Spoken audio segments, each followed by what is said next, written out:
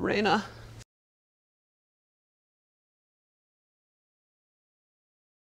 So you're going to Sundance. I'm going to Sundance. Does that feel? Was that your goal? Was that your expectation? Was that the? Uh... Um, yeah, I mean, yeah, it's where we wanted to end up. I wouldn't say it was our expectation, um, but it's the best possible place I think we could have landed. I have no chill about it at all. I'm so excited. I mean, I've been, um, you know, Sundance has pretty much been an adjective for me for so long, Mm. uh, growing up and movies like Reservoir Dogs and You Can Count on Me, and you know, it's it's it's uh, it's become a sort of ideal, Mm. and uh, to be a part of it is just it's crazy. It's crazy. I mean, it's all The truck is coming. keep it down. Um, it's all in the abstract. I've never been. Uh, I've never been to the festival, Wow. so I sort of feel like a bunch of high schoolers are telling me what high school is going to be like, coming from middle school. You know, like you want to sit with these people. Um, yeah, so it's. I'm. I'm so excited. I can't wait. So the idea of competition is interesting, intimidating, not considered, not a really big issue. I mean, I think competitive art is a weird concept, uh, and I don't. I'm not really thinking about it that way. For me, I've we we won. I mean, we get to go to Sundance and we get to share this uh, little project that we made together, and yeah, it's not. I'm not really considering it a competition in that kind of way. Um, it's great that we are. It's a real honor to be in that category, but I think of it as a category and not a blood sport, really. you know, so There's not a lot of control over it, so it's yeah. Like, I mean, just getting to meet some of the other directors, it certainly doesn't feel like, yeah. you know, this kind of, I got my eye on you, I'm gonna beat you. You know, everybody's just like, yeah, oh my God, this is crazy, and it's uh, it's just being a part of the community. That community is, it's it's a dream. You know, Yeah. it's a real life dream. Well, I guess there are various uh, forms of competition that go on as you're up there. As, you know, who can Right. sell their movie, Right. get an award, can Right. you know, it's like there are a lot of ways to win. Right. I mean, the Uh, whole business is supposed to be a competition, but Yeah. I don't know. I think it's. I don't think it's terribly healthy to think about it that way. There's enough success for everybody to go around, and I don't know. I feel like our film will find who it's meant to find, and I'm just going up there to to meet folks and to share our movie and represent our film and put on for our city and all that stuff. So it's not. Yeah, I don't. I don't sweat the competition part of it. I mean, of course, I'm nervous, and then anytime that somebody starts talking about, uh, oh, awards, and there's a lot, you know, you get, oh, there's, but, you know, and then I just remember how lucky I am to get to go, and that's it, you know. So how did you? Were you a born filmmaker, or were you? Was I a born? Are you a born filmmaker? Was this like? Did you I'm a born filmmaker. end of end of question. Um, I had a, uh, circuitous route to it. Um, my first passion was acting. Uh, when I was real little, I realized I could get good attention instead of bad attention for being in the school play. And um, that carried me through to wanting to study it in college. And I went to NYU and studied at the experimental theater wing there. And um, that laid a really, a really amazing foundation for how I thought about expression and performance. And I spent a lot of time in New York. How did you get into the experiment? I mean, I went went to NYU many years ago. Okay. but I don't think there was an experimental theater wing at the time. Yeah. It's, What is that choice about? Um, well, it's part of the the Tisch School. It's they have all these different studios, and I spent the first couple of years in uh, at Playwrights Horizons, which is a directing. It's a Mhm. little more straightforward directing design, mm, some more traditional acting techniques. Um, and I was just really intrigued by the experimental theater wing, and I wanted to expand on. I mean, I, I, I I'm kind of a weirdo, so I was really drawn to these avant-garde uh, concepts of performance and design and, and, and making work. Um, so it was just intriguing to me. You know, you're 19 years old and you want to you want to see the weird stuff. Um, that's probably not a great articulation of it, but I think Yeah. it's pretty accurate. It sounds about right. At Um, 19. But I, yeah, I was I was really grateful to to find my way towards all these like Grotowski and all these more physical based acting techniques, uh, more outside in techniques, which really resonated with me more than the Stanislavski stuff, which is all very, it's all very good, and it's they're all different tools and Mm. things. But um, yeah, so then I spent a lot of time in New York as part of the downtown off Broadway theater scene, and that was that was really that was really where I learned what kind of artist I wanted to be, um, and then had to leave New York because it's just too expensive. I mean, it's a young man or a rich man city, so uh, came to LA and So when did you stop being young? Exactly. uh, working on it. I still think you're kind of. You seem. How old are you? I'm 34. You're 34. Yeah. You look like you're 22. It's those Asian genes. It's those Asian genes. blood is we look good. young. We look young. Um, So you were down in that scene. I was down in that scene, and um, Did you want that? I mean, were you? If it had Yeah. gone a bit differently, would you be still there doing, you know, something crazy or? I. Yeah, it's hard to know. It wasn't so much like I was run out of town or anything, or it was just like I've had it with New York. I, I got cast in a little movie out here, a little independent, and you know this place is very intoxicating. And coming here and being paid well, I mean it was I mean, for me it was well um, more than the three hundred dollars you make off Broadway a week, you know, um, and. Uh, this place is just really intoxicating and coming here. And being like it's warm and there's you know cheap rent. Well there was 10 years ago. There, there was cheap rent. Um, and it just felt it just felt exciting to move and i just ran away from home and came here and made a go of the acting thing. But it's it's rough. It's a rough life the acting life. And I tested for a few things and got really close on some things. I tested for Jesse Pinkman, which was crazy. Um, uh, so kept having these setbacks, heartbreaks that come with the actor lifestyle. And I had a script that I had written when I was uh, teaching acting at NYU uh, with some of my students. I workshopped it. And everybody's supposed to have a script here. Um, so it was a play, and I turned it into a film. And I found that people don't love reading a script from an out of work actor. It takes some time to get people to read it. But I eventually got some of my friends to read it and some folks, and it was a whole process. And that ended up getting made by a filmmaking hero of mine. And it was, uh, it opened up that that door and I was like, oh, okay, I'm a screenwriter now. That's interesting. And I didn't fully know how to I didn't fully know what that meant. You know, I didn't come to LA with a, bit, a steamer trunk of scripts and was like, well, do you need my, you know, buddy cop movie and I've got this and oh yes, here's three or four pitches that I've got ready. I didn't really know how to pitch. It was just I put everything into this one script. And uh, so there, there was a process of, oh, okay, this is how you pitch, and this is how you take these sorts of meetings, and this is how you. Um, I didn't outline until very recently. I still don't really outline. Uh, I, I find it a little strange because I don't know these people yet, Mhm. so it's hard to say, oh, well, then they would do this and this. I start with the characters just. I just try to get them talking to each other and characters that I am drawn to and say, oh, there's a story there. Um, So was Gus Van Sant very encouraging, or was there some distance from your? You know, most writers do not end up on set or anything like that. Did you have a good experience? I had a great experience. Uh, Gus pretty much shot as it was. He had a couple of notes. He asked for a couple more monologues.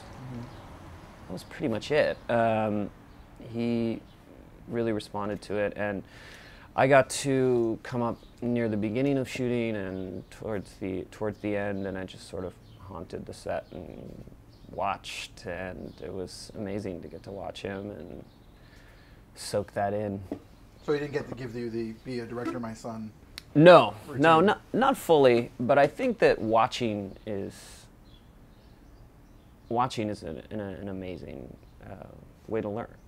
You know, more than because I can give a bunch of advice to somebody, but and then you watch me on set. Am I putting in any of it into practice? You know, so getting to watch him and how calm and, and settled and, and focused he was, and the way he worked with his crew, and I tried to take some of those lessons into the uh, to my first directing experience. So So you learned to pitch. You learned to. I learned to pitch. I. I learned to the, hey, what do you want? Um, and did you go in for buddy cop movies? I mean, did you attempt to do those things? Or? yeah, I, I'm, I, I'm not sure I was ever on the buddy cop uh, Rolodex, but I went in for things and learned to distill stories down, and I learned that the, it was it was actually fun. After a while, I was like, oh, okay, this is a skill that actually isn't. It's a different skill than writing, so that mm-hmm. was an interesting thing for me to learn. That in the same way that auditioning is a entirely different mm-hmm. craft than acting in a way that you're indicating what you could bring, not just doing what you would do on the day because it's this, this weird artifice and you know so. Um, but I had a lot of I had a lot of fun with that and had some uh, adapted a Chuck Klosterman book which was fun and so I got started to get into the swing of those things and the Free World was the second script I wrote after Restless. It was just for me and it was this exploration of some things that uh, fascinate and haunt me and uh, yeah so i had that that was that was the, the very personal thing that i did next and it was just for me and it had a bunch of lives and went to various producers and there were actors attached and then unattached i mean the same the same story that most Were you always wanting to direct it? no, actually. Um, I, well, I was never like, no, I will not. I, I don't want to. I didn't know that it was really an option, and uh, yeah, I hadn't really started thinking because that was right after I had found myself being a screenwriter, and uh, it didn't feel right to be like, oh, I know, also a director, and I'm also a set designer, and I'm also a, you know. You're the Jerry Lewis of your generation. I am. That's what that's what people will say about me. I'm the Chinese Jerry Lewis of my generation. Uh, um, no, it was uh, it was an organic process in some ways where. Oh yeah, Ah, love the leaf leaf blowers. blowers. Let's see. Right. Getting my, getting my flow back. um, wrote the script and didn't think to, oh, I'm going to direct this. This I need to direct this. I wanted to see what what would give it the best chance to be made, and you know, just over the years, I kept revising it and revising it, and started to realize it was more and more personal, and just had the epiphany. Hey, why don't I raise my hand and say, "Can I do it?" And there was nobody that said, "No, you can't." and uh, Was there somebody with money who was committed and trying to figure out how to? no, we didn't have any money attached to it at that point. It was just a script, and uh, so I just said, uh, "Let's let's see if I can rally enough people around it and and Mhm. find." And I, I had a certain faith that if I was gonna get to do it, that the right people would find their way to it. And my producer, Laura Rister, who was an old friend, uh, came on board, and we just started pushing the boulder up the hill and we had money, we lost money, we found new money, we you know, it was the whole it's the whole dance that that happened and all of that was really important to the process. The fact that it took I don't know, two, three years or five years, six years since I wrote it, that that felt right, you know. I wouldn't want to do it that way again necessarily. I hope that that that gap nar- had that experience. narrows. Yes, I've had that experience. I checked that off the list. Um, but it felt like it happened on its on the right timeline and allowed the right people to come into come to the project. I'm really proud of it. I'm happy with how it came out, and yeah. So it was a it was a So the movie itself, the script itself, I guess. yes. I mean, did you? Where did this begin? What was the initial idea? I mean, is it dogs first? Was it? It was. Um, I I had the image of a, a recently exonerated man who worked uh, at an at an animal shelter, and that image.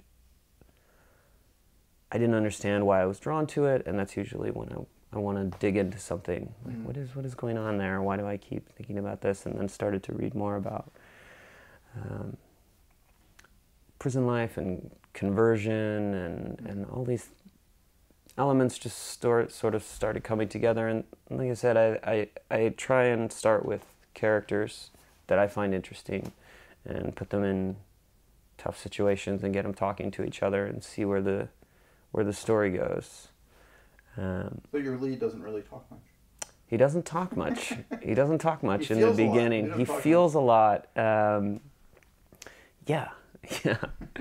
He used to talk more actually Oh. in earlier in earlier drafts, and that was actually a, a really a big revelatory thing for me is seeing how much you don't have to write when you're actually there, and there's a person who is not just a person, but these fantastic actors who are doing it in front of you, and you don't. And it's it's an odd thing the script versus actualization because on a, in a script I need to paint the whole thing for you. I need to paint the picture, and there's a lot of dialogue that you put in to make sure that the reader is you know on the same tone and, and page as the as, as the performance that you want to get. It's it's a blueprint, you know. So it's um, it was that was really fun. Actually, I had a lot of fun being like, "Cut it! We don't need it." Was that on set or Yeah. rehearsals Rehearsals. rehearsals? but I mean, is that scary? I mean, here you are, a first-time director with you know relatively small budget, I assume, Yeah. and you know then it's like let's just not do that. Let's not shoot those words I spent five years on. Um, it was sort of a great feeling, actually. There was a freedom in it, and I. This it really felt like the story was leading. Like the story was my boss the whole time, and I tried to to always keep that front and center with all the collaborators, and you know the story comes 1st mm-hmm. and yeah, it was it was scary. There were scenes, whole scenes that got cut, and you do it in the moment. But it, it felt very much like my old days in the theater, where you're really pulling together and collaborating, and it doesn't matter whose idea it is. It just matters if it's good and if it works. And it was the same in the edit, being like, "Oh, we don't need that scene. That's interesting," you know. Um, I really found. I mean, it was so difficult. It's so difficult. The whole process is the hardest thing I've ever done. I have no.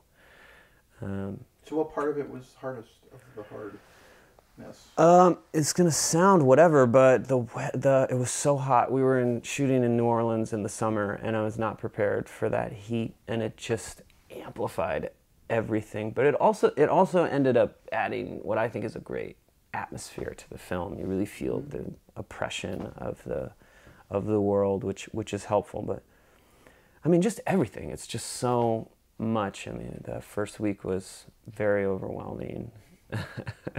There's just a million things happening, and but uh, what got me through it was I, an, I had an amazing crew, I had an amazing cast, had amazing collaborators that were really supportive, and we were all trying to make the same movie and put our egos aside and just make a movie. Um, and in a way, it being so hot and just made it kind of pared things down to the extent like we just need to survive. Like there was this survival vibe uh, that was ultimately like really helpful. But mm-hmm. yeah, it was just it's hard. Filmmaking is hard. I have no pretensions of being like, yeah, it was a it was a total cinch. Everything sort of fell into place. It was it was brutal every day, but it was a it, it was a joy. It was a real joy.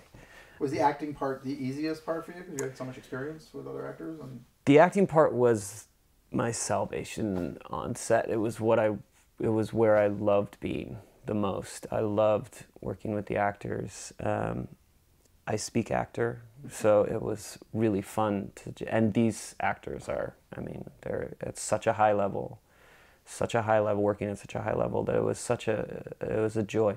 And yeah, that was that was my safe place when I was with. And my DP Bérénice Eveno, we were really, really tightly on the same page about the look and the camera and stuff. So I would just be like, okay, well, yeah, the frame looks good.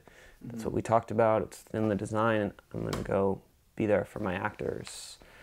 Um, I mean, there's a million things that then happen, but that connection was so special and so thrilling.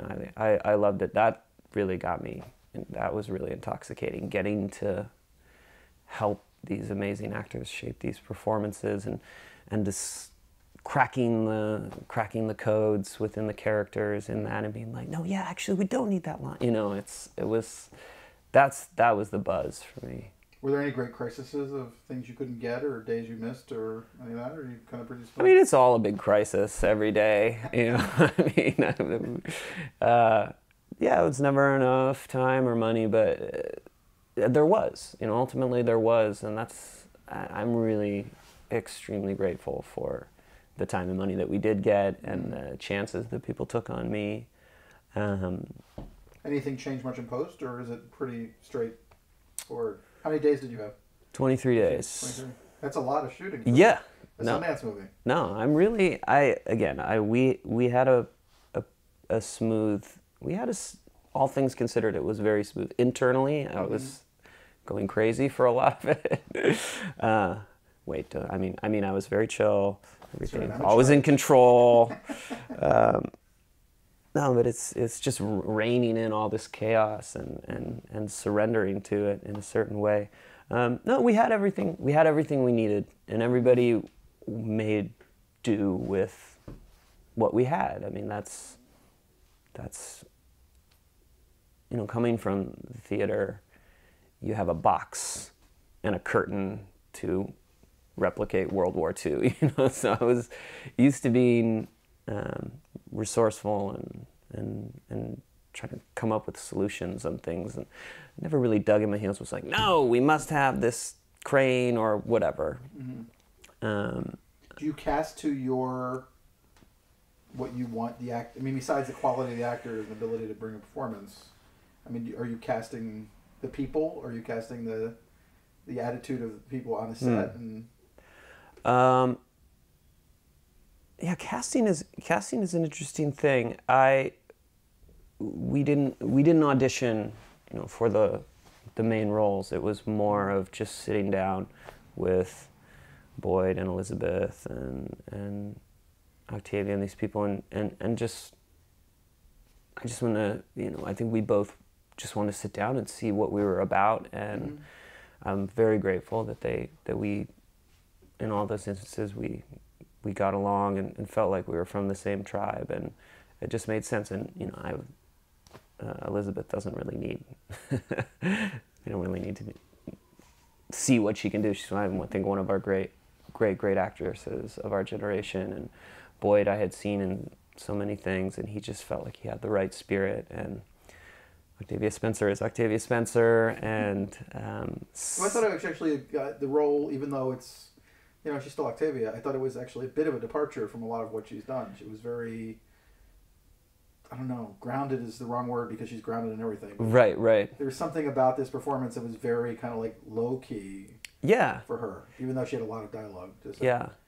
Yeah, I mean, she's great and she really she really grounds that first half of the film and um, she's one of the loveliest people and I think that you ask anybody in this town they will say that she's one of the loveliest people to be around and to talk to and to collaborate with. I, I, I really won the casting lottery for this. Um, but yeah, cast, casting is. It was interesting to be on the other side of it and realize, oh, it it just clicks or there were a lot of actors that came in I was like, wow, what an amazing actor. I would love to find something to do with them, but it's not this. Um, so there was some healing that happened through that process. Actually, there was, you know, just being like, oh, it's not, it's not a competition. You know, the casting process is not a competition, even though it feels that way. Um, and even though it's spoken of in those terms, like you won the part, or I lost the part, or I got beat by this person, and um, but no, cast casting was was fun, filling out the world, and also the. I think that it was really thrilling to have the actors show up and have a s- slightly different take on this moment or that moment and what they bring to it. And um, Boyd brought this this swagger to the role that I didn't see initially when I when I wrote it, and it just as soon as I saw it, I was just like, yeah, that's correct. That's correct. I I, I get it now. That whole element made made sense, um, and that was really fun. Just seeing what everybody brings. Um, you had designers and we had an amazing production designer. Everybody was amazing. I know everybody says that, but I really mean it. Well, it's interesting that this film hits a lot of kind of hot take moments, even though I'm sure five years ago when you wrote it, it was not your. You didn't know that you know that these different conversations would be happening about, you know, police shooting people or doing terrible Yeah. things, or you know, the border issue wouldn't Yeah. be quite as hot as it is now, or things like that. It just seems like yeah. kind of got a lot of places that were have turned out to be hot topics at the moment. Unfortunately, um, even the dog thing, even the you know, even that element of it has become kind of a more of a right, right. issue. Yeah, and with um, making a murderer is very much in the, in the in the water stream right now. Yeah, it's been in the uh, the country's relationship to Islam and all these things are are really hitting. So it's it's nice for me to see that we that that these things are relevant as I, I sort of wish they weren't in that Mhm. way. Was it strange Um, to see the first season of Homeland or the or watch Making a Murderer and go, Uh, holy smokes? Yeah, it was making a murder is so upsetting, and I mean it's unbelievable, unbelievable. And I, I watched about four or five. I, I, I, I'm I'm on pause right now because I get so upset. It was one of my worst fears as a Mhm. child, is being accused of something Huh. you didn't do. Um, Did you do bad things when you were a kid? no comment. Um, no, I was a good kid. you get arrested at wars or Um, no, it's just for some reason that inju- the injustice of it. If there was a, a show or a plot line of GI Joe or Thundercats or whatever, where somebody was accused, and the whole, uh, even though I, I knew that it was gonna get sorted out, it was just such an awful experience for me. I had to not watch those. Um, so, yeah, I, I think it's good to to to lean into your your fears, and that was. I knew that would be a sensitive starting point for me for a character, and and and it's also very fascinated with the the human error that just happens in our justice system, and then oh whoops, your whole life is gone, you know, and you're starting over all of a sudden, and 15 year, you know, he went in when he was very young, and this idea that you're socialized in a completely different way in this institution that is truly hell. Mhm. You know, our prisons are truly hell. Um, I watched a lot of Lockup and a lot of Lockup, uh, which So puts you you don't in a very lean on it specific place. So hard. In this No, movie. it's not a prison movie.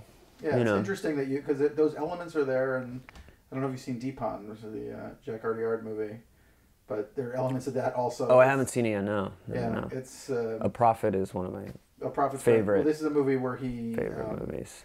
it's an immigrant character. Mm. He's kind of going through his life, and he ends up taking on the local gang Oh, uh, where he lives. yes, yes. I can't wait to and see it's, this. Uh, but it has some of that element of you know the outsider being forced to the, who's trying to be calm and peaceful, and Yeah. ultimately he has to you know find his darkness or deal Yeah. with his darkness. Well, there's this uh, there's this Greek word katabasis, which I really love, which is a it describes a story that's a descent into the dark to return with the light, like Orpheus or Persephone, and I loved that when I found that. I'm a, a big Greek mythology nerd, and when I found that word, I came across. I was like, yeah, that makes sense. That's that's the kind of story that I really love to see, you know, because I don't just love it. We go into the dark and we stay there and it's horrible. Um, but there's a certain, I, I think every kind of story has its place, and these Lars von Trier loves to stay in the dark, and I think it's important to have artists with that and that sort of theater of cruelty. Um, in order to get us to see the other side and all this stuff, I understand that, but for me personally, I I need some hope. I need some some reason to it, um, reason to believe that it's going to get light, and and then it's necessary to go. That it's necessary to descend into the dark to come out with a light that's meaningful and and um, and true to you. So Did you ever get notes from uh, potential producers or money people that you know wanting to go further into the Death Wish elements of oh, there was all kinds of different versions. Um, that was which was which was fun, and I, I mean there were so many drafts. I mean I probably did a hundred drafts of Restless, and then this one just just because I didn't know how to be more efficient. It was just like okay, cool. I'll you know I'll spend all night like changing the whole thing, um, and then this the free world was more of a being able to get back and just getting to be a better writer and learning to what how to revise and how to not. Um, so there but there were still a lot of versions. There were a lot of versions uh, as we found the story and laura was really helpful and my dp has been on the project for a really long time and she's got an amazing story mind. She's uh, was really helpful. So it's just about having but uh, anybody who came on anybody who came on i'm grateful to uh, even if they didn't end up seeing it through with us because everybody bring brought something that uh, you know i think that we, it's always good to be challenged to have your ideas challenged because they either get better or you go oh yeah that stands up you know? Which is what's nerve-wracking about. I mean i say that now and it's about to be shown to the world but that's why we do it right to show it So when you whatever that is next for you, does that come out of this experience of going to Sundance in part, or do you Um, persevere regardless? Of, do I Well, I hope I like a- persevere regardless. But um, yeah, I, I want to be very. I, I have to really really connect to that to that story to be the one that is going to spend two years on it. Um, I don't know. I you're don't. not going to end up directing the next Adam Sandler movie Um, coming out of Sundance. un- unless it's like a kind of punch drunk love vibe. but uh, I have a feeling those days are perhaps behind him. Um, no, I don't have this. I don't have this strong desire to. I, it's not. Oh, now I want to direct Jurassic Park or or these things. I mean, of course, I would cross that bridge when I came to it, but I really don't think that um, that's that's where this is headed. No, I, I, I just would love to tell my stories, but I'm also open to if there's an amazing book or or article or, or something that really responds. What's important to me is what's is telling di- diverse stories. You know, I'm Chinese American, and I want to really. That's that's my cause. You know, so what's important to me is that we tell different stories and So do you feel any pushback against your Chineseness? Do people when think? I mean, you don't. You're not over. Your eyes are a little bit Right, I'm half. shaved, but you're not over. You don't walk in the room and go, "Wow, Chinese guy." Right right Being realistic, I mean, Right. so you can pass. I guess is the. sure But I mean, is that something uh, it's very much a you have to part of for? Or no i mean there's a weird and we're gonna yeah we're gonna go down a little bit of a rabbit hole here but there's a weird there's a you you learn a weird hierarchy in ra- there's a sort there's a racial hierarchy in a strange way of the Euronormative way that minorities are seen in this country, and I feel like um, Asian folks are sort of like, oh well, you guys are kind of white. People say that to me all the time. Um, and it's so offensive. You guys are kind of white. You guys are kind of white. Um, I'm like, oh, that's not how I felt growing up. Mm. Um, but no, it's it's a it's a part of me, and I'm very very proud of of that side of my heritage, and it's it's stories that I really really want to tell, and the representation uh, behind and in front of the camera for for Asian Americans is is dismal. I mean, it's it's very very bad. I'm my next uh, screenplay that I'm writing. I'm writing a uh, a screenplay for Justin Lin, and uh, that's just been great to to be to bro out with a with a fellow a fellow Asian who's so awesome and is doing great things. Um, but it's hard. I mean, I recognize the realities of. Um, what's interesting is that it's it's um, it's been the diversity conversation's been distilled down to casting pretty much, and I think that's a mistake. Um, and that's, of course, we need to see faces up on the screen, but Mm. um, I am a minority and I wrote and directed this film, and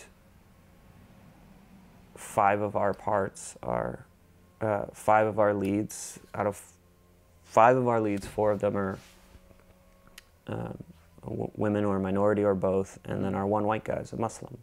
Um, you know, so it and that trickled down all of our DPs, women, our producers, women. Many of our department heads were women or minorities, and uh, they were not hired because of that. But it's hard for me to not consider those things and and want to reach back and pull up and and see people of color and succeed. You know, it's it's it's important to me. It's important, and the kinds of stories you tell, and and how you tell them, and how you talk about them, and you know, I'm. It, it makes me a little nervous talking about this on camera in a weird way because, and it's out there, but it's it's important. It's important. Do you think it's intentional, or do you think it's just habit and people that they're used to and not thinking about it, not really considering it as you go through Oh, it's it's so just it's systemic you know it's just what's going on with the with the oscars and um, it's just habit you know. I think it'll just take um, it'll take the folks who are in charge um, making a conscious effort to groom their replacements that are people of color or women or and just being willing to step as, step aside or to invite people people in. I don't uh, you know I don't I can't make a judgment on if whether it's malicious or not. I'm sure in some cases it is. In some cases it is. It isn't. But I think it's negligence and, and laziness and it's um it's it's sad you know but I, I it is getting better in some areas you know I I love Master of None and getting to see uh, a lot of those issues out on a, a, popular television show and, and dealt with in a really smart way and you know I'm I'm not gloom and doom about it um, but it's it's important to me and it's it's always something I consider you know Well, I think it's it is something that people people who are working are generally less gloom and doomy about it. I have my my experience and I have these conversations all the time. right But there's also the thing where people have to be conscious about how they work. So like if you look at Meryl Streep's last eight films, I guess she's made six of them with women directors. right And not every actress, you know, is in a position from which to do that. right But also there not every woman actress thinks about it. You know, Right. it's not a priority and and when a director hires the, their crew, you know, it's not always a priority to keep a mix going or to keep a, Right. you know that range going. It's very, um, and then when you have somebody who obviously is, there's a certain director who I won't name because she's already pissed off at me, but you know, she's never hired a female DP. Okay, well, but she's also of color herself, so therefore she's hired mostly of DPs of color. So right you know what I mean? Like, where's Right. the line? Which do you, what group are you right sustaining for, and so forth? But I think if people are people who are hiring are just conscious. It's just it's just a matter of consciousness. I really do think uh, it's and and considering it, and I hope that, that that because the conversation keeps happening louder and louder. Um,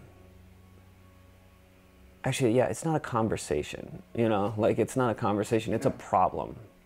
It's a problem, and it's not a.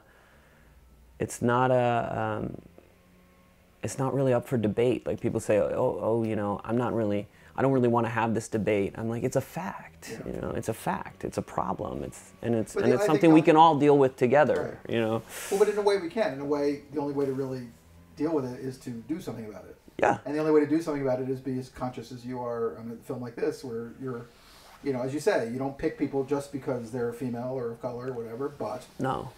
it's on your, it's in your head. It's not, you're not just forgetting about it. but it's a it's a consideration and it's Yeah. it's important you know it's important to me it's just about it being important to people and ma- you know, making a career for yourself in this uh, business is extremely difficult and i think that you just go through it and say oh, okay well whatever whatever you guys need and you know it's it's hard to bring your ethics and morality and those things into in into something that might jeopardize. Oh well, okay, if you guys just want the white guy, cool. You know, I write race into my scripts because if somebody wants to come tell me to change it to a white guy, I want them to come tell me that to my face. Mm-hmm. You know, I want them to say that this needs this guy needs to be a white guy. You know, and then you know we have that conversation, but then that person also has to come to me and say that. Um, doesn't happen often, you know. I don't have people, but but it happens, you know. It happens in a, or you know, the reverse. I'm in a in a pitch meeting and being like, well, what about making this character a person of color? And they're like, you know, yeah, there's not really an actor that could bank it, and so it's this, it's a really bad cycle. Um, Well, your lead's an interesting case. I assume you wrote him as a white guy who had converted because that's what makes the character. That's part Mm-hmm. Yeah. of the character's story. hmm Yeah, and um, yeah, and I, I recognize the you know the realities of, of financing films and, and the star system and all those things, but um, no, it's it, it is getting it's it's getting better. It's not getting better fast enough for my taste, but um, yeah, I'm happy. I'm happy that I can uh, represent Asian. uh, There's four Asian American directors in competition this year, which is awesome. Which is something I hope people talk about, because that's a lot. Um, that's a lot, and I'm really proud to be a. I'm counted among among them. So And it seems to me, uh, in a good way, coincidental to the circumstance as opposed to Yeah. Like you pick movies and they happen to be directed. by- Right, right, which is what you want, right? Yeah. It's not like, um, yeah, no, I mean, I try, I, I try not to be too doom and gloom or, or ragey about uh, about it because it's not productive, and ju- I just do my part when I can and and reach back when I can. What makes you feel any better? I'll get all ends of shit for having said you could pass. As people watch this interview, there will definitely be comments about what an asshole I am. But um, you know, No, I trying mean, to be real about it. You know, it's like no, they would tell me I'm TV Asian. They're like, you're TV Asian. What does like, that even What does mean?" that mean? Um, no, it's, you know, I'm a, I'm a mixed kid, and it's there's more and more as well, that's becoming the norm. that's becoming the norm. is now yeah. normal in the world. Of all Yeah. kinds of mixes. You know, it's that's what we're that's our future. That is the future. The future. Um, yeah. No, I wouldn't worry about it. I wouldn't worry about it. So you're just going to go up to the snow. I assume you have a jacket.